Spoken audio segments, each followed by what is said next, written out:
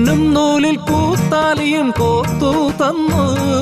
കന്നിപ്പട്ടിൽ മണിത്തൊങ്ങലും ചാത്തി തന്നു.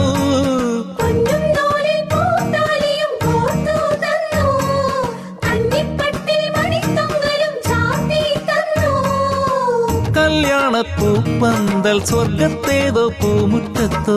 കാട്ടിൽ കുരുത്തോല കലവില പാടും താഴത്തോ.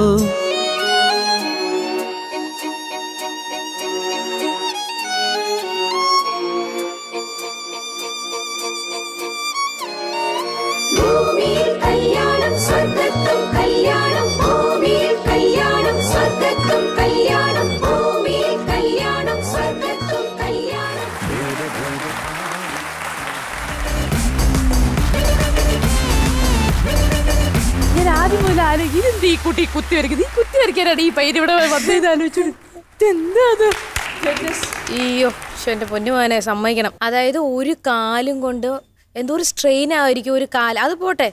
എങ്ങനെ പറ്റണം? കൈകൊണ്ട് തന്നെ നേരെ ചൊവ്വ നോക്കി ഒരു അതൊക്കെ ഓരോരുത്തർക്കുള്ള കഴിവാണ്. പക്ഷെ അത് ഒരു കാലും കൊണ്ട് മാത്രം ഇത്രയും ഒരു ഒരാളുടെ ഫിഗർ ഒരു നമുക്ക് പരിചയമുള്ള ഒരാളുടെ മുഖമാക്കി നമുക്കത് മനസ്സിലാക്കിപ്പിക്കണം അല്ലേ? ഓ അത് എത്രയോ പ്രാക്ടീസിന്റെയും എത്രയോ കഷ്ടപ്പാടിന്റെയും ആ കാലിലൊക്കെ ഇങ്ങനെ സ്ഥിരമായിട്ട് പെയിന്റ് ഉപയോഗിച്ച് ഉപയോഗിച്ച് ഉപയോഗിച്ച് ഒക്കെ എന്തെങ്കിലും പ്രശ്നങ്ങൾ വരാറുണ്ടോ? ഇങ്ങനെ ഇങ്ങനെ പെയിന്റിന്റെ കളർ ഏത് നേരം കാലിൽ ഇങ്ങനെ ഇല്ല ഇല്ല. അങ്ങനെ കുഴപ്പമില്ല. പ്രാക്ടീസ് ചെയ്യുമ്പോഴത്തേക്കും കുഴപ്പമില്ല. കണ്ടിന്യൂസ്ലി ഇങ്ങനെ കാലുകൊണ്ട് വരയ്ക്കാറില്ല. ആണല്ലേ? പ്രാക്ടീസ് ചെയ്യണമല്ലോ എന്നാലും. ആ ടൈമിൽ ഉണ്ടാവും സ്ട്രെയിൻ ഉണ്ടാവും. ഒരു കളർ എടുത്തിട്ട് അത് തുടച്ചിട്ട് പിന്നെ വേണം വേറെ കളർ ഇല്ലെങ്കിൽ പിന്നെ നമ്മൾ ഉദ്ദേശിച്ച സ്ഥലത്ത് ഷെയ്ഡ് വീഴൂല. ഫുള്ള് ഇതാവും.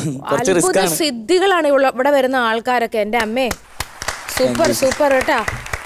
അത് ആ സിനിമയുടെ അതെ അതെ ആ ഒരു എക്സ്പ്രഷൻ ആണ് കാര്യം കുഞ്ചാക്കോ ബോബൻ എന്ന് പറയുമ്പോൾ വേറൊരു ഫേസും ഒക്കെ ഉണ്ട്. പക്ഷെ ആ പർട്ടിക്കുലർ സിനിമയിൽ ഇത് തന്നെയായിരുന്നു. എന്നാ താൻ കേസ് കൂടെ എന്ന സിനിമയിലെ ചാക്കോച്ചനെയാണ് വരച്ചിരിക്കുന്നത്. അതുകൊണ്ട് ആ പാട്ട് യൂസ് ചെയ്തത് ഡാൻസ് ചെയ്തു. നല്ല കറക്റ്റായിട്ട് ഡാൻസ് ചെയ്തു. മ്യൂസിക്കിനനുസരിച്ചിട്ടുള്ള മൂവ്മെന്റ്സ് വെച്ചു. ചെറിയ കാര്യമില്ല. വലിയ കാര്യമാണ്. ഇത് ഇന്നലെ പെയിന്റ് അടിക്ക് അഴിച്ചപ്പോ വന്ന ഷട്ടിൽ കളർ ആയതാണോ അല്ലല്ലോ അല്ല, ഷട്ടിന്റെ കളറാണ് അല്ലെ? അല്ലല്ല ഞങ്ങൾ ചെയ്തതാ. ചെയ്യിപ്പിച്ചെടുത്ത. സാറ്റിസ്ഫാക്ഷൻ ഇല്ല. എന്നോട് കുറെ നേരം കൊണ്ട് പറയോ അവിടെ ഇങ്ങനെ തെന്നിയപ്പോഴത്തേക്കൊക്കെ ഇതായത് തെന്നി വീഴാൻ പോയിട്ടോ? പെയിന്റിന്റെ മുകളിലോട്ട്.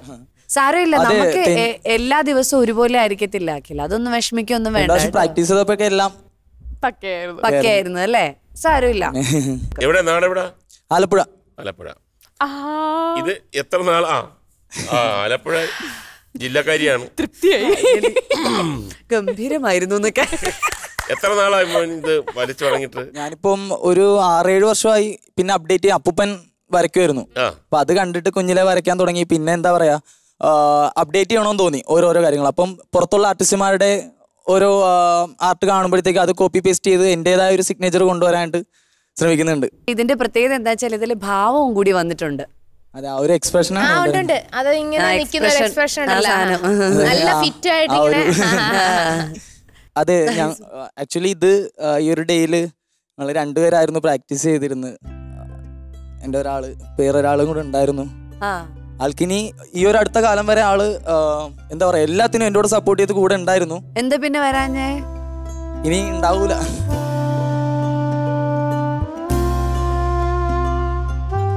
അത് രണ്ടു ദിവസം മുമ്പാണ് ഞാൻ അറിഞ്ഞത്. അപ്പൊ അതിന്റെ ചെറിയൊരു ഇത് ഒരു പെൺകുട്ടിയാണോ? അതെ അതെ എന്റെ പാർട്ണറായി ഓ. എല്ലാം ഓക്കെ ആയിരുന്നു. അപ്പം വരാൻ ഒരുമിച്ചായിരുന്നു? ഒരുമിച്ച് ചെയ്യാനായിട്ടായിരുന്നു പ്ലാൻ ചെയ്ത് എല്ലാം ഓക്കെ ആയിരുന്നു.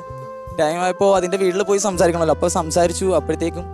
സോ ഇത് ഇത് ഇങ്ങനെ ഒരു ആക്ടിവിറ്റി ചെയ്യുന്നത് കൊണ്ട് കുറച്ച് നേരത്തെ വൈകി പോകേണ്ട ആൾ കുറച്ചുകൂടി നേരത്തെ എന്റെ തീരുമാനം പറഞ്ഞു. അപ്പൊ ഇനി ഉണ്ടാവൂല എന്നുള്ളൊരു തോന്നൽ. പിന്നെ ഞാൻ വിഷമിച്ച് നിന്നു കഴിഞ്ഞാൽ ആ, ഒത്തിരി പേര് എന്നെ സ്നേഹിക്കുന്ന ഒത്തിരി പേര് എന്റെ അമ്മ എന്റെ ചേച്ചി എന്റെ അച്ഛൻ. അപ്പോൾ അവർ സങ്കടപ്പെടേണ്ടി വരും. അതുകൊണ്ട് മാത്രമാണ് രണ്ട് ദിവസത്തെ പ്രാക്ടീസിൽ ഞാൻ ഒറ്റയ്ക്കെങ്കിലും ചെയ്യാൻ കേട്ടാ. എന്തോ നല്ലത് വരാനിരിക്കുന്നു. അത്ര മാത്രം വിചാരിച്ചാൽ മതി കേട്ടാ. ഇത് ഭംഗിയായിട്ട് ചെയ്തു. ഇതെല്ലാം മനസ്സിൽ വിഷമം വെച്ചോണ്ട്. ഏ? അതുകൊണ്ട് ആ പടത്തിൽ ഒന്നുകൂടി ഒരു ഫീൽ കിട്ടിയ പോലെ എനിക്ക് സംശയം. ശരിക്കും ഫിറ്റായിട്ട് നിൽക്കുന്ന ഒരു ചാക്കോച്ചനെ എനിക്ക് കാണാൻ പറ്റി അതിന്റെ അകത്ത്. കേട്ടാ? വിഷമിക്കണ്ട കേട്ടോ. വിഷമിക്കണ്ട. വിഷമം വിഷമിക്കണ്ടെന്ന് പറയാൻ എളുപ്പമാണ് കാരണം വളരെ സിൻസിയർ ആയിട്ട് നമ്മൾ ഒരാളെ സ്നേഹിച്ചിട്ട് അല്ലേ? അത് എന്തൊക്കെയോ കാരണങ്ങളും ഉണ്ട്. അങ്ങനെ വരേണ്ടവരാണെ വരുമല്ലോ അതെ. ആ ആ കുട്ടിക്ക് ഭാഗ്യമില്ല. എനിക്കതാണ് തോന്നുന്നത്. ഒരു ആർട്ടിസ്റ്റിന് ഒരു ആർട്ടിസ്റ്റിനെ തന്നെ ആവുമ്പോൾ ഒരു പ്രത്യേക സന്തോഷമാണ് അല്ലേ? അതെ അതെ അതിന്റെ ഒരു വിഷമം ഉണ്ടാവും. ഇതിനെക്കുറിച്ച് പ്രത്യേകിച്ച് അഭിപ്രായങ്ങൾ പറയാൻ പറ്റില്ല.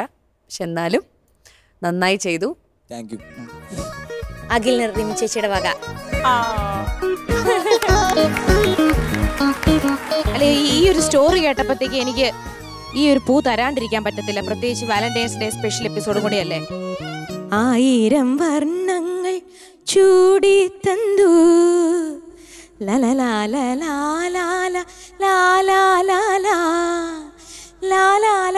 ഭൂമിയിൽ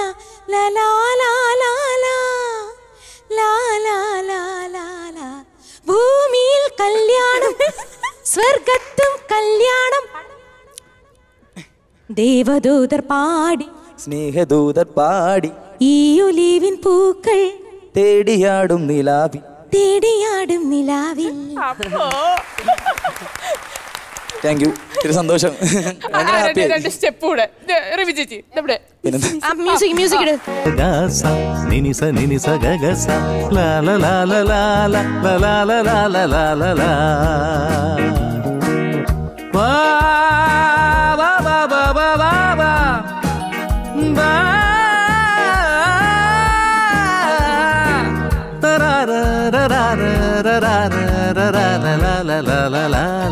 ദേവദൂത പാടി സ്നേഹദൂത പാടി ഈ ഒലിവിൻ പൂക്കൾ ചൂടിയാടും നിലാവിൽ. ദേവദൂത പാടി സ്നേഹദൂത പാടി നല്ല മിടുക്കനായിട്ട് ഇനിയും വരണം കിടിലത്തിൽ. കേട്ടോ? തീർച്ചയായിട്ടും. ആ. And now it's best time യാ നമ്മുടെ അഖിൽ യെസ് അഖിലിന്റെ പെർഫോമൻസിന് അഖിലിന്റെ ഈ ഒരു ആർട്ടിന് എന്തോ ഒരു പേരൊക്കെ ഉണ്ടല്ലോ? ഇങ്ങനെ പെയിന്റിങ്ങിന് എന്തോ ഒരു പേരില്ലേ? ഇതിപ്പോ മ്യൂസിക്കൽ ആർട്ട് ഓക്കെ ഓക്കെ ശരി ശരി. പിന്നെ ലൈക്ക് ഫുഡ് പെയിന്റിംഗ് ആ ഫുഡ് പെയിന്റിംഗ് അപ്പോൾ ഈ ഫുഡ് പെയിന്റിങ്ങിനും പിന്നെ ചെറിയ ഒരു ഡാൻസ് പെർഫോമൻസിനും പിന്നെ വേറെ പ്ലാനിങ് ഒക്കെ ലാസ്റ്റ് മൊമെന്റിൽ ചേഞ്ച് ആയിട്ടും ആ വിൽ പവറോട് കൂടി രണ്ടുപേരും ഒരുമിച്ച് ചെയ്യേണ്ട കാര്യം ഒറ്റയ്ക്ക് വന്ന് നല്ല വൃത്തിയായിട്ട് ചെയ്ത അഖിലിന് ഡി യെസ് അങ്ങനെ ട്വന്റി ഫൈവ് തൗസൻഡ് റുപ്പീസ് ആണ് അഖിലിന് ലഭിച്ചിരിക്കുന്നത്. ഇരുപത്തി അയ്യായിരം രൂപ സമ്മാനമായി ലഭിക്കുന്നു. യെസ് ഫാംഫർട്ട് കിടിലം വേദിയിൽ അഖിലിന്റെ ഈ ഒരു ആർട്ടിന് ലഭിക്കുന്നു. Twenty five thousand rupees thank you